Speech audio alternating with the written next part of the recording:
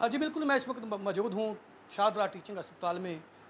जिस तरह डेंगू और कोरोना की वबा फैली हुई है, जो डेंगू का जो दबाव है, वो बहुत ही बढ़ चुका है और मरीज़ जो है, वो अस्पतालों में दाखिल होना शुरू हो चुके हैं।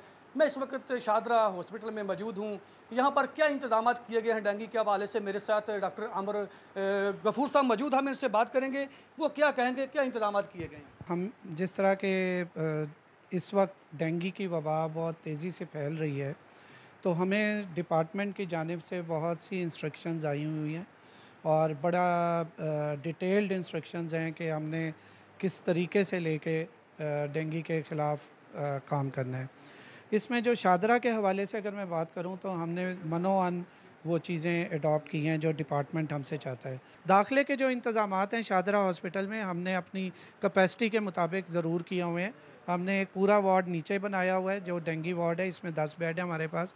लेकिन हमने मज़ीद इंतज़ाम भी किया हुआ है कि अगर अल्लाह ना करे, और ज़्यादा हमें बेड्स की ज़रूरत हो तो हमने ऊपर एक पूरा वार्ड है जिसको हमने तैयार किया हुआ है, उसमें भी दस बेड है हमारे पास। और फिर उसका भी स्पिल ओवर हमने बनाया हुआ है। मज़ीद हमने एच डी यू में आठ बेड लगाए हुए हैं, जो ज़रा अगर सीरियस हो जाए, कोई मजीद उसका इंतज़ाम भी मौजूद है और हर स्टेशन पे डेंगू की, वो सी बी सी की मशीन भी मौजूद है।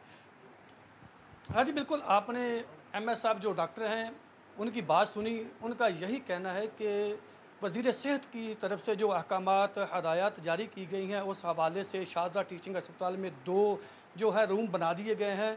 दो वार्ड बना दिए गए हैं। तमाम इंतज़ाम वहाँ पर मकम्मल है। मरीज़ भी जो दाखिल किए गए हैं, जो डेंगू के मरीज़ हैं और किसी भी मरीज़ को मुश्किल का सामना नहीं आ रहा और यहाँ पर तमाम जो है मेडिसन और तमाम जो इंतज़ाम है, मकम्मल है और किसी किस्म की भी परेशानी का सामना किसी भी मरीज़ को नहीं करना पड़ेगा।